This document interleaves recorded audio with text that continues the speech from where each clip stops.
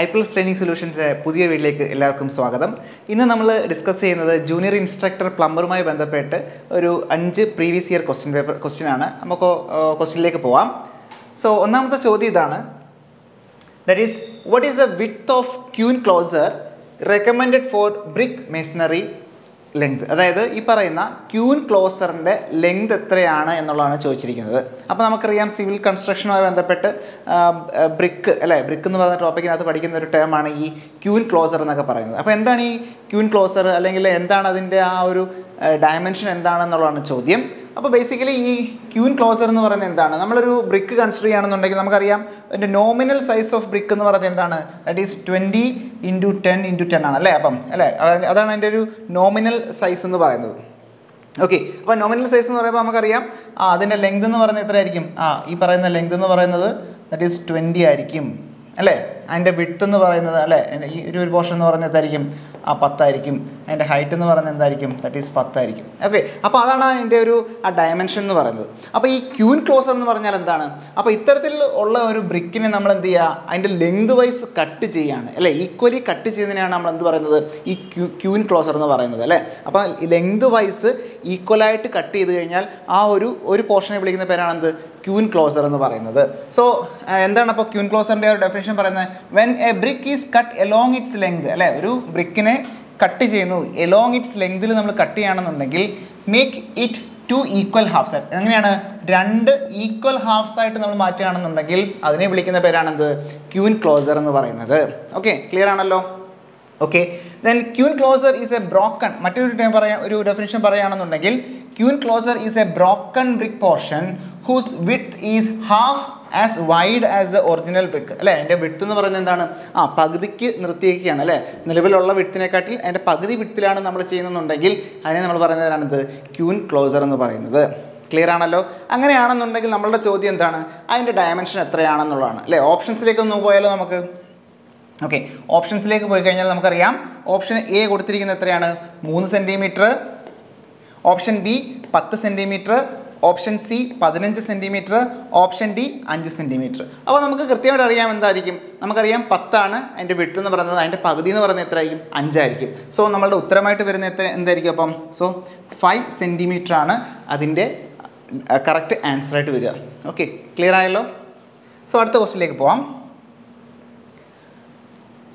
So അടുത്ത question ഇതാണ്. What is a period referred as golden hour അപ്പോൾ ഈ പറയുന്ന സേഫ്റ്റിയുമായി ബന്ധപ്പെട്ടുള്ളൊരു ചോദ്യമാണ്. എന്താണ് ഈ ഗോൾഡൻ അവർ അതിന്റെ സമയം എത്രയാണെന്നുള്ളതാണ് ചോദിക്കുന്നത് ചോദിച്ചിരിക്കുന്നത്. ഓക്കെ സോ അങ്ങനെയാണെന്നുണ്ടെങ്കിൽ ഓപ്ഷൻസിൽ വരികയാണെന്നുണ്ടെങ്കിൽ ഓപ്ഷൻ എ കൊടുത്തിരിക്കുന്നത് എന്താണ്?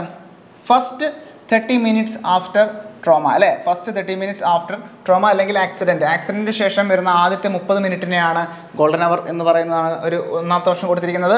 രണ്ട് first thirty minutes after first aid first എയ്ഡിന് ശേഷമുള്ള മുപ്പത് മിനിറ്റിനെയാണ് നമ്മൾ പറയുന്നതെന്നാണ് അവർ പറയുന്നത്. ഓപ്ഷൻ ബിയിൽ ഓപ്ഷൻ സി പറയുന്നത് first forty five minutes of admission first sixty minutes option D പറയുന്നത് first sixty minute after treatment treatment ശേഷമുള്ള അറുപത് മിനിറ്റ്സ് അല്ലെങ്കിൽ വൺ അവർ എന്നുള്ളതാണ് അവർ പറഞ്ഞിരിക്കുന്നത്. അപ്പോൾ ഇവിടെ ഓപ്ഷനിൽ ഈ നാല് ഓപ്ഷനിനകത്ത് ഉത്തരം വരുന്നതെന്ന് വെച്ചാൽ that is first thirty minutes after ട്രോമയാണ് ഉത്തരം വരിക. ആദ്യത്തെ മുപ്പത് minute first thirty minutes after ട്രോമയാണ് നമ്മളുടെ ഉത്തരമായി വരിക. സോ അപ്പോൾ എന്താണ് ഈ ബേസിക്കലി ആ ഗോൾഡൻ അവർ എന്നുള്ളത് നമുക്ക് നോക്കാം. The golden hour is a period of time immediately after traumatic injury during which there is the highest likelihood that prompt medical and surgical treatment will prevent death. അതായത് നമുക്ക് പെട്ടെന്ന് തന്നെ ആ ഒരു ഡെത്ത് ഒഴിവാക്കാൻ വേണ്ടിയിട്ട് നമുക്ക് ട്രീറ്റ്മെന്റ് കൊടുക്കേണ്ടതായിട്ട് വരുമല്ലോ. സോ ആ ഒരു സമയം അല്ലേ? ആ ഒരു ക്രിട്ടിക്കലായിട്ടുള്ള സമയത്തിന് വിളിക്കുന്ന പേരാണെന്ത്? ഗോൾഡൻ അവർ എന്ന് പറയുന്നത്. അപ്പം ഗോൾഡൻ അവർ എന്ന് പറയുന്നത് എത്രയാണ് ആ സമയം? That is first thirty minutes after the incident അല്ലേ? ആ ഒരു പർട്ടിക്കുലർ ഇൻസിഡന്റ് എന്ന് പറയുന്ന ആക്സിഡന്റ് ആ ഒരു ആക്സിഡന്റ് സംഭവിച്ചതിന് ശേഷം എത്രയാണ്? ആ ഒരു ആദ്യത്തെ മുപ്പത് ആണ് എന്ന് പറയുന്നത് എന്താണ്? ഗോൾഡൻ അവർ എന്ന് പറയുന്നത്. ക്ലിയർ ആണല്ലോ? ഓക്കെ സോ അടുത്ത ചോദ്യത്തിലേക്ക് പോവാം. What is the inclination angle of chisel to cut mild steel അപ്പോൾ ചിസൽസ് അല്ലേ? നമ്മുടെ കട്ടിംഗ് ടൂൾസുമായി ബന്ധപ്പെട്ട ഒരു ചോദ്യമാണ് ചോദിച്ചിട്ടുള്ളത്. ചോദ്യം എന്താണ്? That is what is the inclination angle of the chisel to cut mild steel mild steel cut ചെയ്യാൻ വേണ്ടിയിട്ടുള്ള ആ ചിസലിന്റെ ഇൻക്ലിനേഷൻ ആംഗിൾ എത്രയാണ് എന്നുള്ളതാണ് ചോദ്യം. അപ്പോൾ അതിന്റെ ഉത്തരമായിട്ട് കൊടുത്തിരിക്കുന്നത് അല്ലെങ്കിൽ ഓപ്ഷൻസ് ആയിട്ട് കൊടുത്തിരിക്കുന്നത് ഇരുപത്തിരണ്ട് ഡിഗ്രി മുപ്പത്തി രണ്ട് ഡിഗ്രി മുപ്പത്തിനാല് പോയിന്റ് അഞ്ച് ഡിഗ്രി മുപ്പത്തി ഒൻപത് പോയിന്റ് അഞ്ച് ഡിഗ്രി. ഓക്കെ അപ്പോൾ ഈ ചിസലുമായി ബന്ധപ്പെട്ട് നമ്മൾ കുറച്ച് ആംഗിൾസ് പഠിച്ചിരുന്നു അല്ലേ? പോയിന്റ് ആംഗിൾ റേക്ക് ആംഗിൾ അതോടൊപ്പം തന്നെ ഇൻക്ലിനേഷൻ ആംഗിൾ അങ്ങനെയൊക്കെ നമ്മൾ പഠിച്ചിരുന്നു. അപ്പോൾ ബേസിക്കലി ഇതാണ് നമ്മുടെ ചിസൽ എന്ന് പറയുന്നത് അല്ലേ? നമുക്കറിയാം. അപ്പോൾ എന്താണ് ഈ റേക്ക് ആംഗിൾ എന്ന് പറഞ്ഞാൽ ഈ ടോപ്പ് സർഫസും എന്ന് നമുക്കറിയാം. അതിനൊരു പെർപ്പൻഡിക്കുലർ വരയ്ക്കുകയാണെന്നുണ്ടെങ്കിൽ ആ ഗാമയാണ് നമ്മൾ എന്ത് പറയുന്നത്? ദാറ്റ് ഈസ് റേക്ക് ആംഗിൾ എന്ന് പറയുന്നത്. അല്ലേ? ഇൻക്ലിനേഷൻ എന്ന് പറയുന്നത് എന്തായിരിക്കും? That is angle of inclination എന്ന് പറയുന്നത് എന്താണ്? സോ നമ്മളുടെ ചിസലിന്റെ ആ സെന്ററും അതോടൊപ്പം തന്നെ ആ ഒരു കട്ടിങ് എഡ്ജിന് അല്ലെങ്കിൽ കട്ടിങ് പോയിന്റിന് ആ നമ്മൾ ഹൊറിസോണ്ടൽ വരയ്ക്കുകയാണെന്നുണ്ടെങ്കിൽ ആ ഹൊറിസോണ്ടലുമായിട്ട് മേക്ക് ചെയ്യുന്ന ആംഗിളാണ് എന്ത്? ആംഗിൾ ഓഫ് ഇൻക്ലിനേഷൻ എന്ന് പറയുന്നത്. അല്ലേ?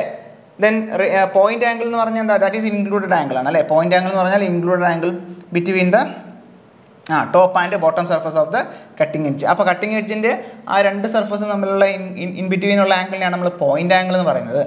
സോ റേക്ക് ആംഗിൾ നമ്മൾ ആൽഫ വെച്ച് റെപ്രസെന്റ് ചെയ്യുന്നു. പോയിന്റ് ആംഗിൾ നമ്മൾ ബീറ്റ വെച്ച് നമ്മൾ റെപ്രസെന്റ് ചെയ്യാറുണ്ട്. Then and clearance angle clearance angle ആണ് നമ്മൾ ആൽഫ വെച്ച് റെപ്രസെന്റ് ചെയ്യുന്നത്. ഓക്കെ നമ്മളിവിടെ ചോദിച്ചിരിക്കുന്നത് എന്താണ്? ആംഗിൾ ഓഫ് ഇൻക്ലിനേഷൻ എന്ത്? That is mild steel cut ചെയ്യുമ്പോൾ angle of angle of inclination നമ്മൾ എത്ര കൊടുക്കണം എന്നുള്ളതാണ് ചോദ്യം. സോ ഇവിടെ ഉത്തരമായി വരിക. That is thirty four point five degree വളരെ ഇമ്പോർട്ടന്റ് ആണ്. നമ്മൾ ആ ഒരു ടേബിൾ കൃത്യമായിട്ട് ബൈ ഹാർട്ട് ചെയ്ത് തന്നെ വെച്ചിരിക്കണം. കറസ്പോണ്ടിങ് പോയിന്റ് ആംഗിളും ആംഗിൾ ഓഫ് ഇൻക്ലിനേഷനും ഓക്കെ സോ നമുക്ക് ആ ടേബിൾ ഒന്ന് ശ്രദ്ധിക്കാം. ഇത് വളരെ ഇമ്പോർട്ടന്റ് ആണ്. ഈ ഒരു ടേബിൾ നമ്മൾ കൃത്യമായിട്ട് മനസ്സിലാക്കിയിരിക്കുക. അതിൽ നിന്നൊരു ചോദ്യം നമുക്ക് പ്രതീക്ഷിക്കാം. Okay so material to be cut point angle angle of inclination അപ്പോൾ അതിനകത്ത് ഫസ്റ്റ് പറയുന്നത് ഏതാണ്? That is high carbon steel അല്ലേ? എച്ച് സി എസ് അല്ല ഹൈ കാർബൺ സ്റ്റീൽ പറയുന്നുണ്ട്. ഹൈ കാർബൺ സ്റ്റീലിന്റെ ദാറ്റ് ഈസ് പോയിന്റ് ആംഗിൾ എന്ന് പറയുന്നത് എത്രയാണ്? ദാറ്റ് ഈസ് സിക്സ്റ്റി ഫൈവ് ആണ്. നമ്മൾ ഓർത്തിരിക്കാൻ വേണ്ടിയിട്ട് നമുക്ക് that is al cobra M S H എന്നുള്ള രീതിയിൽ അല്ലെങ്കിൽ നമ്മൾ ഡിസ്കസ് ചെയ്തിരുന്നു ഒരു സമയത്ത് അല്ലേ? അപ്പം ഇതിവിടെ ശ്രദ്ധിക്കേണ്ട ജസ്റ്റ് മനസ്സിലാക്കി പോവാം. എന്താണ് കാസ്റ്റ് അയൺ എന്താണ്? That is sixty degree then angle of inclination thirty seven degree okay mild steel നമ്മുടെ ഉത്തരം എന്താ? ചോദ്യം എന്താണ്? മൈൽഡ് സ്റ്റീൽ ആയിരുന്നു. അതിന്റെ പോയിന്റ് ആംഗിൾ എന്ന് പറയുന്നത് fifty five degree then angle of inclination എന്ന് പറയുന്നത് thirty four point five degree okay then brass കൊടുത്തിരിക്കുന്നത് എത്രയാണ്? ഫിഫ്റ്റി ഡിഗ്രിയാണ് എന്ത്? പോയിന്റ് ആംഗിൾ എന്ന് പറയുന്നത് തേർട്ടി ടു ഡിഗ്രിയാണ് എന്ത് ആംഗിൾ ഓഫ് ഇൻക്ലിനേഷൻ കോപ്പർ എന്താണ്? ഫോർട്ടി ഫൈവ് ഡിഗ്രിയാണ്.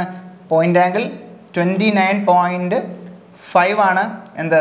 ആംഗിൾ ഓഫ് ഇൻക്ലിനേഷൻ എന്ന് പറയുന്നത് so last one is aluminium aluminium thirty ഡിഗ്രിയാണ്. Point angle then corresponding angle of inclination എത്രയാണ്? ട്വന്റി ടു ഡിഗ്രിയാണ്. അപ്പോൾ ഇതിനകത്ത് പ്രീവിയസ് ഇയർ ചോദ്യം വന്നിട്ടുള്ളത് എന്താണ്? മൈൽഡ് സ്റ്റീലാണ് മൈൽഡ് സ്റ്റീലിന്റെ ആംഗിൾ ഓഫ് ഇൻക്ലിനേഷൻ എത്രയാണ്? മീൻസ് എന്താണ്? ദാറ്റ് ഈസ് ചിസൽ ചിസലിന്റെ ആംഗിൾ ഓഫ് ഇൻക്ലിനേഷൻ എപ്പോൾ? മൈൽഡ് സ്റ്റീൽ നമ്മൾ കട്ട് ചെയ്യുകയാണെന്നുണ്ടെങ്കിൽ. സോ അത് എത്രയാണ്? Thirty four point five degree that is clear ആയെന്ന് വിചാരിക്കുന്നു. ഈ ഒരു ടേബിൾ നമ്മൾ കൃത്യമായിട്ട് മനസ്സിലാക്കിയിരിക്കുക. ഓക്കെ ഫൈൻ സോ നാലാമത്തെ ചോദ്യം ഇതാണ്. That is the minimum size of rain water pipe shall be അപ്പം ഒരു നമുക്കറിയാം ഡിഫറെന്റ് ടൈപ്സ് ഓഫ് പൈപ്പുകളുണ്ട് അല്ലേ? ഇപ്പോൾ സോയിൽ പൈപ്പ് ഈ പറയുന്ന റെയിൻ റെയിൻ പൈപ്പ്സ് ഓക്കെ അല്ലെ വേസ്റ്റ് വാട്ടർ പൈപ്പ്സ് അങ്ങനെ കുറേ പൈപ്പുകൾ നമുക്കറിയാം. പ്രത്യേകിച്ച് ഈ പ്ലംബർ എന്നുള്ള സിലബസ് കൺസിഡർ ചെയ്യുകയാണെന്നുണ്ടെങ്കിൽ പൈപ്പ് വളരെ ഇമ്പോർട്ടന്റ് ആണ്. അപ്പോൾ അത്തരത്തിൽ നോക്കുകയാണെന്നുണ്ടെങ്കിൽ ഈ റെയിൻ പൈപ്പിന്റെ ഡയമീറ്റർ എത്രയാണ് എന്നുള്ളതാണ്. അല്ലെ? മിനിമം ഡയമീറ്റർ നമുക്ക് റെയിൻ വാട്ടർ ക്യാരി ചെയ്യണമെന്നുണ്ടെങ്കിൽ ആ പൈപ്പിന് എത്ര ഡയമീറ്റർ മിനിമം വേണം എന്നുള്ളതാണ് ചോദ്യം. അപ്പോൾ ഓപ്ഷനിലേക്ക് പോകണമെന്നുണ്ടെങ്കിൽ that is option A forty M M option B fifty M M option C seventy five M M option D hundred M M so ഇവിടെ നമുക്ക് ഓർത്തിരിക്കേണ്ട കാര്യം റെയിൻ വാട്ടർ പൈപ്പ് ആണെന്നുണ്ടെങ്കിൽ അത് എത്രയായിരിക്കും? That is seventy five M M ആണ് minimum okay rain water pipe അതിന്റെ diameter എത്രയായിരിക്കും? സെവന്റി ഫൈവ് എം എം ആണ് എന്നുള്ളത് ഓർത്തിരിക്കുക. ഓക്കെ സോ അങ്ങനെയാണെന്നുണ്ടെങ്കിൽ ഏതൊക്കെ ടൈപ്പ് പൈപ്പുകൾ അതിന്റെ ഡയമീറ്റർ നോക്കാം നമുക്ക്. ഓക്കെ ശ്രദ്ധിക്കുക. സോയിൽ പൈപ്പ് സോയിൽ പൈപ്പ് എന്ന് പറഞ്ഞ ഒരു ടൈപ്പ് ഓഫ് പൈപ്പാണ് ആ ആ പൈപ്പിന്റെ പ്രത്യേകത എന്താണ്? That is a pipe through which human excreta flows അല്ലേ? ഈ ഹ്യൂമൻ എക്സ്ക്രീറ്റ് അല്ലേ മനുഷ്യന്റെ അല്ലെങ്കിൽ വിസർജ്യം ഫ്ലോ ചെയ്യുന്ന ആ ഒരു പൈപ്പിനെ പറയുന്ന പേരാണ് സോയിൽ പൈപ്പ്. അവിടെ യൂസ് ചെയ്യുന്ന പൈപ്പാണ് സോയിൽ പൈപ്പ്. സോയിൽ പൈപ്പിന്റെ മിനിമം ഡയമീറ്റർ എത്രയാണ്? That is hundred M M ഓർത്തിരിക്കുക. Diameter of the soil pipe is hundred M M then രണ്ടാമത് പൈപ്പാണ് വേസ്റ്റ് പൈപ്പ് അല്ലേ? വേസ്റ്റ് പൈപ്പ് വേസ്റ്റ് പൈപ്പിന്റെ പ്രത്യേകത എന്താ? It carries only liquid waste അപ്പോൾ ലിക്വിഡ് വേസ്റ്റ് മാത്രം ക്യാരി ചെയ്യുന്ന പൈപ്പ് ഏതാണ്? That is waste pipe then horizontal ആയിട്ടും നമ്മൾ വെർട്ടിക്കലായിട്ട് അത് അലൈൻ ചെയ്യാറുണ്ട് ലേ ചെയ്യാറുണ്ട്. ഹൊറിസോണ്ടൽ ആണെന്നുണ്ടെങ്കിൽ thirty two fifty M M ആണ് അതിന്റെ ഡയമീറ്റർ വെർട്ടിക്കൽ ആണെങ്കിൽ seventy five M M okay അപ്പോൾ വേസ്റ്റ് വേസ്റ്റ് പൈപ്പ് അല്ലെങ്കിൽ വേസ്റ്റ് പൈപ്പ് നമ്മൾ ലേ ചെയ്യുകയാണെന്നുണ്ടെങ്കിൽ വെർട്ടിക്കലായിട്ടും ഹൊറിസോണ്ടലായിട്ടും ചെയ്യാറുണ്ട്. സോ ഹൊറിസോണ്ടലാണെങ്കിൽ ഏകദേശം thirty two fifty M M ആയിരിക്കും അതിന്റെ ഒരു പൈപ്പിന്റെ ഡയമീറ്റർ എന്നാൽ വെർട്ടിക്കലി ലേ ചെയ്യുന്ന ഒരു വേസ്റ്റ് പൈപ്പ് ആണെന്നുണ്ടെങ്കിൽ അതിന്റെ എത്രയായിരിക്കും എഴുപത്തി അഞ്ച് എം എം ആണ് എന്നുള്ളത് ഓർത്തിരിക്കുക. ക്ലിയർ ആണല്ലോ? Fine then vent pipes vent pipes vent pipes എന്ന് പറയുന്നത് എന്താണ്? Provide for the purpose of ventilation on the system നമ്മളുടെ ഒരു സിസ്റ്റത്തിനകത്ത് അല്ലെങ്കിൽ പൈപ്പ് സിസ്റ്റം കൺസിഡർ ചെയ്യുകയാണെന്നുണ്ടെങ്കിൽ നമുക്ക് ആ ഒരു സിസ്റ്റത്തിൽ നമുക്ക് വെന്റിൽ വെന്റിലേഷൻ കൊടുക്കേണ്ടതായിട്ടുണ്ടാവും അല്ലേ?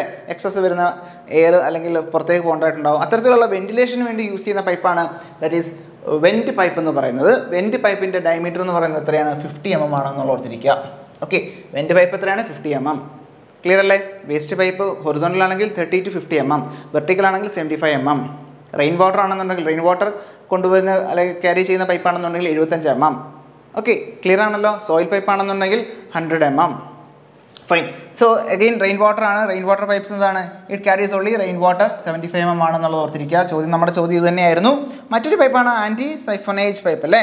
ആന്റി സൈഫനേജ് പൈപ്പ് സോ അവിടെ അവിടെ അതിന്റെ ഒരു ഡയമീറ്റർ നോക്കുകയാണെന്നുണ്ടെങ്കിൽ ഫിഫ്റ്റി എം എം ആയിരിക്കും. അല്ലേ? മെയിനായിട്ട് ഈ ഹൗസ് ഡ്രെയിനേജിനകത്ത് നമ്മൾ ട്രാപ്സിലൊക്കെ വാട്ടർ സീൽ മെയിന്റെയിൻ ചെയ്യാൻ വേണ്ടിയിട്ട് അല്ലേ? ഒരു വാട്ടർ സീൽ മെയിന്റെയിൻ ചെയ്യാൻ വേണ്ടിയിട്ടാണ് നമ്മൾ ആന്റി സൈഫോണേജ് പൈപ്പ്സ് യൂസ് ചെയ്യുന്നത്. സോ അതിന്റെ ഡയമീറ്റർ എന്ന് പറയുന്നത് എത്രയാണ്? ഫിഫ്റ്റി എം എം ആണ് എന്നുള്ളതും ഓർത്തിരിക്കുക. ഓക്കെ ക്ലിയർ ആയെന്ന് വിചാരിക്കുന്നു? സോ ലാസ്റ്റ് ക്വസ്റ്റിലേക്ക് പോവാം. ലാസ്റ്റ് ക്വസ്റ്റ്യൻ ഇതാണ്. Which one of the following is a commercially available ശ്രദ്ധിക്കുക. Commercially commercially available marking media with various colours and quick dry action ഈ മൂന്ന് കാര്യങ്ങൾ ഓർത്തിരിക്കുക. കൊമേഴ്ഷ്യലി അവൈലബിൾ ആയിട്ടുള്ള അതോടൊപ്പം തന്നെ ഡിഫറെന്റ് ഡിഫറെന്റ് കളേഴ്സ് അവൈലബിൾ ആയിട്ടുള്ള പെട്ടെന്ന് ഡ്രൈ ചെയ്യുന്ന ഒരു എന്താണ് ഒരു മാർക്കിംഗ് മീഡിയ ഏതാണ് എന്നുള്ളതാണ് ചോദ്യം. അപ്പോൾ ഓപ്ഷനിലേക്ക് പോകണമെന്നുണ്ടെങ്കിൽ ഓപ്ഷൻ എന്തൊക്കെയാണ്? Option A cellulose lacquer option B Persian blue option C white wash option D copper sulphate അപ്പോൾ നമ്മൾ കൃത്യമായിട്ട് പഠിച്ചിട്ടുള്ള ഒരു കാര്യമാണ് ഈ മാർക്കിംഗ് മീഡിയ എന്ന് പറയുന്ന ടോപ്പിക്കിനകത്ത്. അപ്പോൾ അതിനകത്ത് എന്താണ്? നമുക്കറിയാം സെല്ലോ സ്ലാക്കേഴ്സ് ആണ് എന്ത് ഇത്തരത്തിൽ കൊമേഴ്ഷ്യലി അവൈലബിൾ ആയിട്ടുള്ള ഡിഫറെന്റ് കളേഴ്സിൽ അവൈലബിൾ ആയിട്ടുള്ള പെട്ടെന്ന് ഡ്രൈ ചെയ്യുന്ന ഒരു നല്ല മാർക്കിംഗ് മീഡിയ ആണെന്ത്? ഈ സെല്ലുലോസ് സ്ലാക്കോർ എന്ന് പറയുന്നത്. സോ ആ ഒരു മൂന്ന് കാര്യങ്ങൾ ഓർത്തിരിക്കുക. സോ ഇവിടെ നമ്മുടെ ഉത്തരം എന്ന് പറയുന്നത് സെല്ലുലോസ് സ്ലാക്കോർ ആണ്.